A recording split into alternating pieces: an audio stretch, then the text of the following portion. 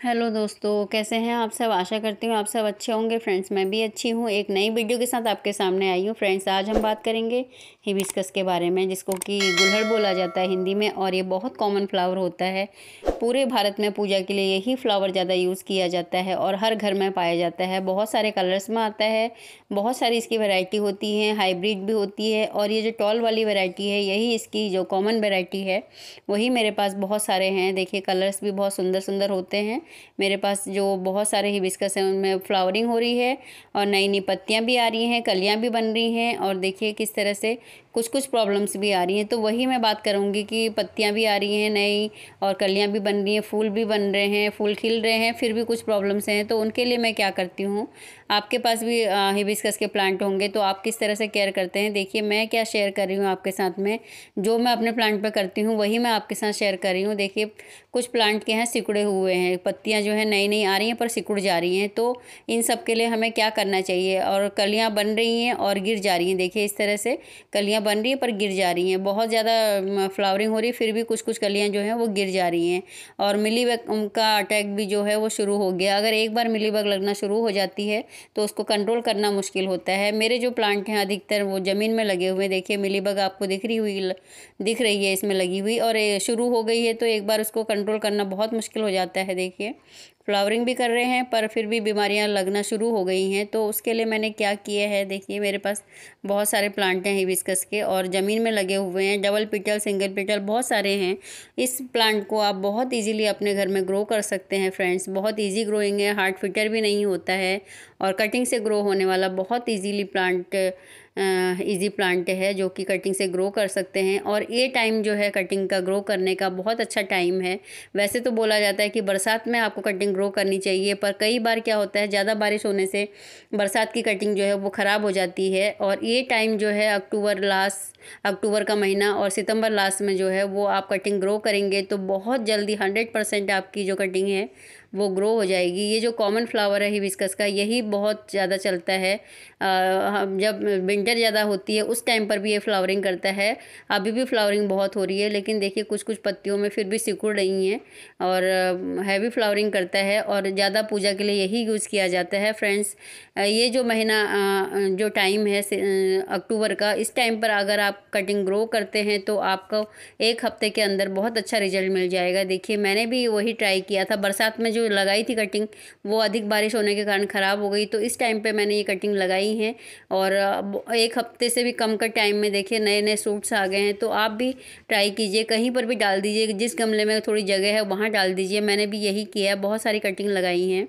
मेरे पास बहुत सारे प्लांट हैं जो कि ज़मीन में लगे हुए हैं। ज़मीन में लगे हुए जो प्लांट होते हैं, उनकी केयर भी आसान होती है और लेकिन उनकी ग्रोथ को कंट्रोल करना मुश्किल होता है। साल में दो बार मैं इनको खाद देती हूँ और अगर आप पॉट में लगा रहे हैं तो उसके लिए मिट्टी आपको वेल्डेन बनानी पड़ेगी, जिसमें कि आप पॉटिंग मिक्स मतलब नॉर्मल सॉइल के साथ में आपको सैंड भी मिक्स करनी पड़ेगी।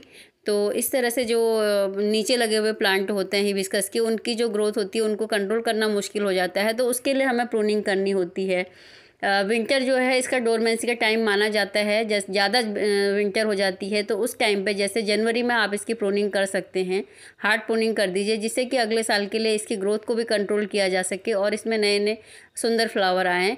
वैसे तो ये जो फ्लावर है हिबिस्कस का विंटर में भी इसमें फ्लावरिंग होती रहती है, लेकिन थोड़ा कम हो जाती है, जब ज़्यादा विंटर बढ़ जाती है तो उस टाइम पर आप इसकी प्रोनिंग कर सकते हैं, बहुत ईजीली फ्रेंड्स इसके लिए क्या खाद देनी है? देखिए, बरसात का टाइम निकल चुका है और ये दो तीन महीने अभी फ्लावरिंग करेगा तो इसको हैवी फिटर हमें खाद देनी है इस टाइम पे, क्योंकि बरसात में इसके जो भी न्यूट्रिशन थे वो सब बह गए हैं तो इसलिए मैं क्या करूँगी इसको देखिए, इसके लिए जो बेस्ट कंपोस्ट होती है, मैं तो काउडंग और जो वर्मी कंपोस्ट है वही देती हूँ और वही मैं अच्छा मानती हूँ कि सबसे बेस्ट खाद होती है हिबिस्कस के लिए। साल में दो बार मैं भी वही यूज़ करती हूँ।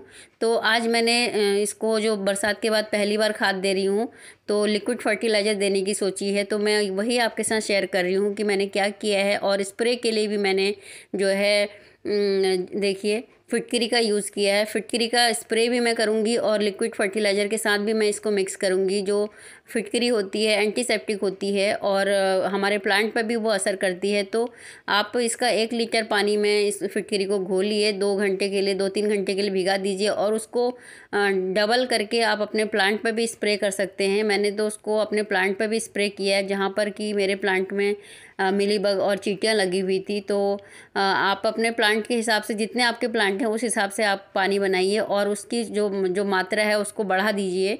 डबल और ट्रिबल कर सकते हैं।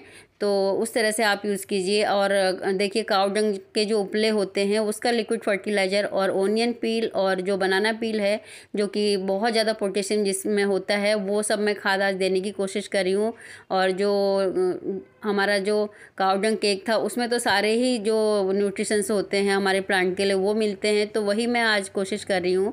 देखिए, मेरे इस तरह से मिलीबग और चीटियाँ लगी थी तो मैंने जो फिटकरी का जो पानी अपनी स्प्रे बॉटल में भरा और उन पर यूज़ किया तो मुझे काफ़ी अच्छा रिज़ल्ट मिला है। आप भी मात्रा सही रखिए और जो फिटकरी का पानी है उसका स्प्रे कीजिए तो आपके प्लांट को भी चीटियों से और मिलीबग से कई बहुत ज़्यादा निजात मिल जाएगा। और दो तीन बार करने से जैसे एक हफ़्ते में दो तीन बार कर दीजिए, एक हफ़्ते के बाद करिए दो तीन बार तो आपको बहुत ज़्यादा राहत मिलेगी। देखिए मिलीबग से और चीटियों से तो मैंने भी वही किया है। इस तरह से मैंने स्प्रे भी कर दिया है फिटकरी के पानी का। और जो मैंने आज लिक्विड फर्टिलाइज़र बनाया, वो तो प्लांट के लिए बहुत ही हेल्दी है, क्योंकि इस टाइम पे हमारे जो प्लांट थे, बारिश के बाद में सारे न्यूट्रिशन जिनके बह गए थे तो उनके लिए हैवी जो खाद है वो देना ज़रूरी है, जो लिक्विड फर्टिलाइज़र है, बहुत जल्दी असर करता है तो इसलिए मैंने वही देने की कोशिश की है। और अगर नॉर्मल हम खाद डालते हैं, सूखी खाद तो वो जल्दी असर नहीं करेगी। इस तरह से मैंने जो ओनियन पील और बनाना पील का जो बना के रखा था, चौबीस घंटे पहले भिगा दिया था तो उसको छान लिया है और सभी चीज़ें मैं इसमें मिक्स कर दूँगी। जो काउडंग उपले का जो मैंने बनाया है लिक्विड फर्टिलाइज़र उसको छानने की ज़रूरत नहीं है। ये जो वेस्ट है, आप इसको गमले भरने में, सुखाने के बाद में गमले भरने में यूज़ कर सकते हैं। इस तरह से मैंने जो फिटकरी का पानी है उसको भी मैंने मिला दिया है जिससे कि हमारे जो प्लांट हैं उसमें चीटियाँ नहीं लगेंगी कीटाणु नहीं लगेंगे जम्स नहीं आएँगे जो भी आ, हमारे हिबिस्कस के प्लांट में लग जाते हैं जम्स तो वो नहीं आएँगे फिटकरी के पानी से और स्प्रे भी मैंने कर दिया है। तो इस तरह से मैंने अपने जो पानी की मात्रा थी उसको इतना बढ़ा दिया है तीन बाल्टी बना के रख दिया है। तो आप भी डाइल्यूट करके डालिए। वैसे तो कोई ख़राब नहीं है, लेकिन फिर भी डाइल्यूट करना ज़रूरी है, क्योंकि सभी प्लांट को थोड़ी थोड़ी मात्रा मिल जाएगी। इस तरह से थोड़ा सा मैंने गुड़ाई कर ली है अपने प्लांट की पहले। इसकी जड़ों को भी थोड़ा राहत मिलती है गुड़ाई करने से। उसके बाद में जो अपना लिक्विड फर्टिलाइज़र बनाया है, वो डाल दूँगी। तो आप भी इस तरह से यूज़ करिए। फ्रेंड्स अगर वीडियो पसंद आए तो लाइक कीजिएगा। नए हैं तो चैनल को सब्सक्राइब करके जाइएगा। और नई वीडियो के साथ फिर मिलूँगी। तब तक bye bye thank you take care